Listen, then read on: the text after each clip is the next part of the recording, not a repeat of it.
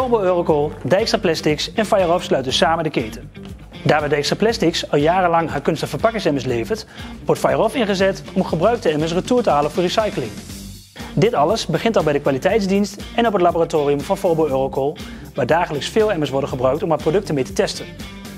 Nadat de emmers zijn gebruikt worden ze niet weggegooid, maar verzameld in de daarvoor bestemde verzamelbakken.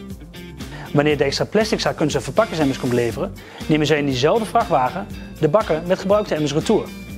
Fireoff zorgt op haar beurt weer voor dat deze gebruikte emmers worden omgezet tot nieuwe grondstoffen.